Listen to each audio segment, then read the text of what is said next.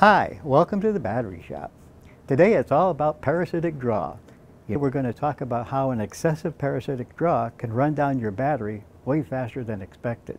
We'll take a look at how to test for this parasitic draw and what steps to take to cure the problem. When testing for parasitic draw, you'll need something to measure voltage and amperage, and we'll be using this equipment to do the basic test. A parasitic draw is an unwanted draw of electricity from your car's battery. And if not corrected, this can cause your battery to go dead. As an example, if you leave your headlights on, your battery will go dead in a few hours.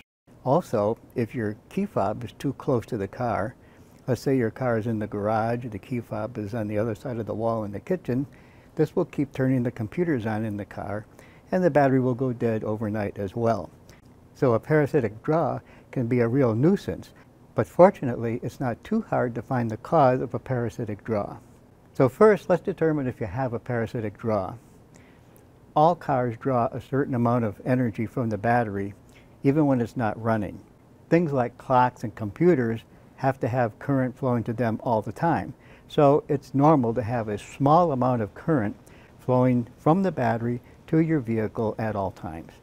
There are specifications for this, and you really need to look at a service manual for your vehicle to find out what that current typically should be. Uh, a normal amount of parasitic draw for newer cars is between 50 milliamps to 85 milliamps, but it could be much higher depending on how the vehicle is equipped. An older vehicle may be somewhere between 25 and 40 milliamperes. The first thing you want to do in a parasitic draw test is to be sure everything is turned off and nothing is plugged in, like a cell phone charger, for example. Be sure all of the interior lights are off, and even the light under the hood would have to be turned off. You could do that by taking out the bulb. Once you determine that everything is turned off as far as you can tell, the next step is to be sure that the ignition is turned off and the key fob is far away from the vehicle. Then let the vehicle sit for at least 15 to 45 minutes or however long the service manual recommends, and this will allow time for all of the modules to enter sleep mode. The next step is to connect an inductive clamp, usually called an amp clamp, onto one of the battery cables.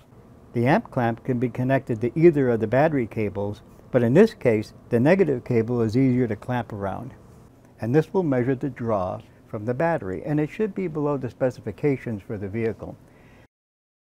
One method for finding which circuit the parasitic draw is in is to pull the vehicle's fuses one at a time until the amperage drops below the specifications for that vehicle.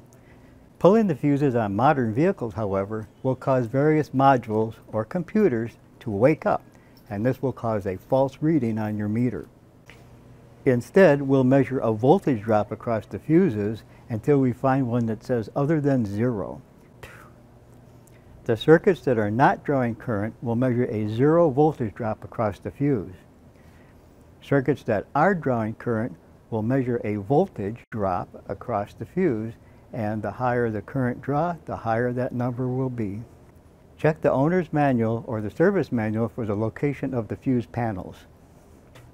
Typical locations of fuse panels are under the hood, under the dashboard, and behind the glove compartment. After we locate the fuse that has the voltage drop across it, pull that fuse and the reading on the amp meter should drop down to specification. The next step is to follow the wiring diagram in your service manual for that circuit to determine which of the components or wiring connections in that circuit are causing the problem. Once the problem has been resolved, reinstall the fuse into the fuse panel and check to be sure that there is no longer a voltage drop across the fuse.